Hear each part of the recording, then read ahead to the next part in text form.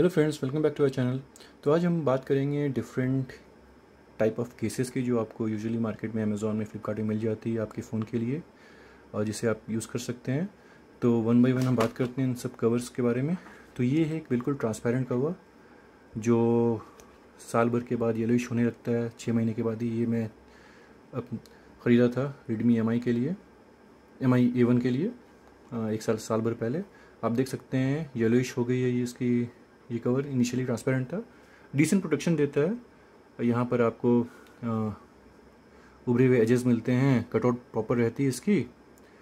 तो आ, ये एक डिसेंट कवर है। अगर आपको बस एक ऐसा कवर चाहिए जो आपके फ़ोन को ओकेजनल फॉल से बचाए कॉर्नर कॉर्नर की तरफ़ फ़ोन गिरने से बचाए और कैमरा वगैरह को प्रोटेक्ट करे और फ़ोन भी अच्छा दिखे आपको तो ये एक फ़ोन ले सकते हैं। यूजली ये दो सौ से तीन सौ के बीच में मिल जाती है फ्लिपकार्ट अमेज़ोन में।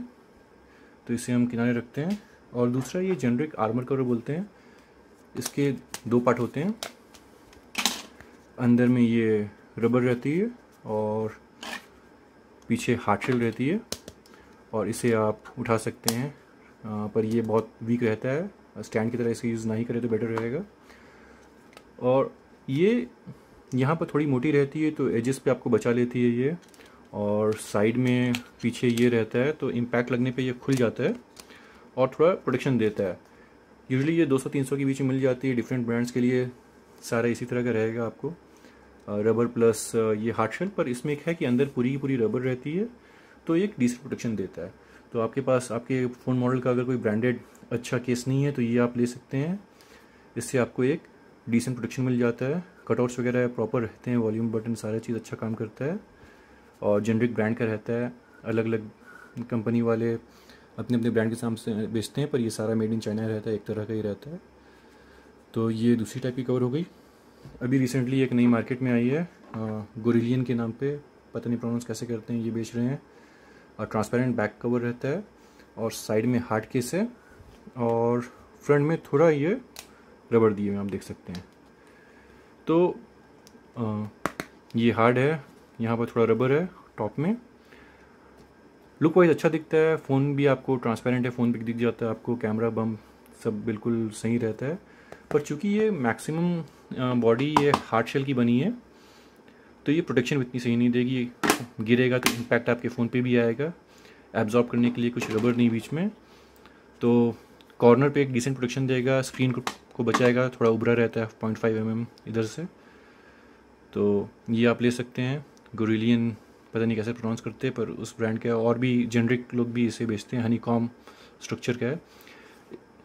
तो ये आपको इस तरह का मिलेगा। उसके बाद है हमारा एक ये अभी रिसेंटली एक गिफ्ट कार्ड करके कंपनी अमेज़ोन में जो इस तरह की बेच रही है। आ, ये आयरन रहता है मैग्नेट में चिपक जाता है। यहाँ यहाँ यहाँ पर आप देख सकते हैं रबर है।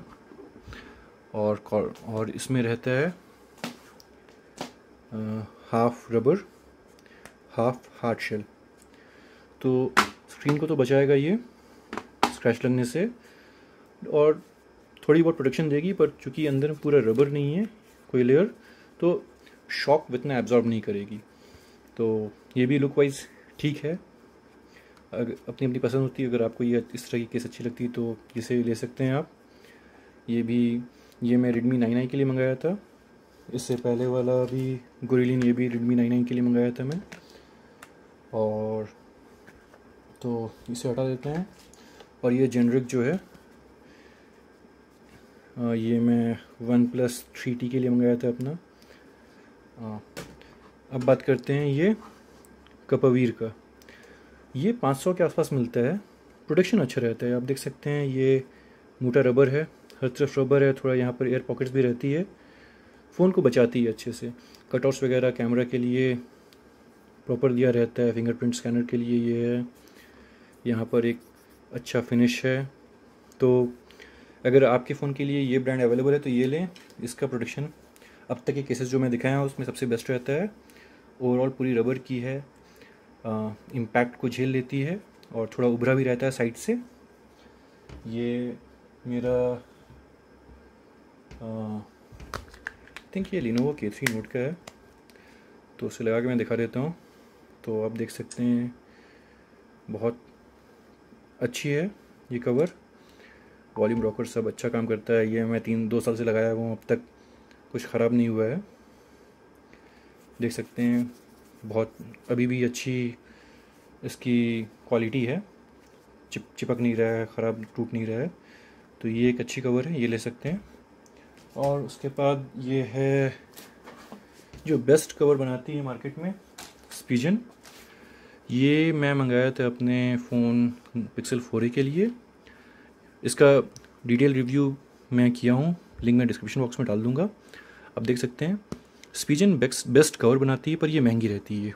आठ सौ से, आठ सौ से पंद्रह सौ के बीच में कवर आती है। बिल्कुल परफेक्ट कटआउट रहता है परफेक्ट वॉल्यूम बटन का रहता है। ये हार्ड शेल है यहाँ पर। और हार्ड शेल और उसके बाद अंदर में ये पानी चला गया था। और अंदर में पूरा सॉफ्ट पॉलीकार्बोनेट या फिर रबर रहता है। तो बहुत अच्छा प्रोटेक्शन देती है इस तरह की कवर अगर आपके ब्रांड आपके फ़ोन के लिए स्पीजन ब्रांड का कवर अवेलेबल है तो ज़रूर लें। ये डिफरेंट प्रोफाइल्स में आती है आर्मर आती है नॉर्मल कवर भी आती है अलग अलग तरह की कवर आती है, पर इसका प्रोटेक्शन बहुत अच्छा रहता है। अब तक का मैं स्पीजन की और भी कवर यूज़ कर चुका हूँ। और जितनी भी कवर यूज़ किया हूँ, सबसे अच्छा एक्सपीरियंस मेरा स्पीजन के साथ रहा है। तो ये था हमारा रिव्यू सारे phone different kind of phone cover का, जो ऑनलाइन अवेलेबल है। फ्लिपकार्ट अमेज़ोन ये सब जगह। इस तरह की कवर मोस्टली आपको मिलती है। ब्रांडेड आपके हैं स्पिजन और कपावीर और मोस्टली चाइनीज़ ब्रांड के कवर हैं, जो आपको लोकल मार्केट में ही मिल जाएगी और ऑनलाइन ही मिल जाएगी। ये सब 200 300 150 रुपए के आसपास मिल जाते हैं। तो ये था review different kind of covers के जो मार्केट में अवेलेबल है। और भी तरह के कवर्स हैं, पर ये इस तरह के कवर्स सबसे ज़्यादा पॉपुलर है तो मैंने सोचा सबके डिटेल रिव्यू में कर दूँ। तो ये था हमारा review different kind of phones case के ऊपर। अगर आपको हमारी ये वीडियो पसंद आती है तो हमारे चैनल को लाइक ज़रूर करें और सब्सक्राइब ज़रूर से करें। मिलेंगे एक नई वीडियो में, तब तक के लिए बाय बाय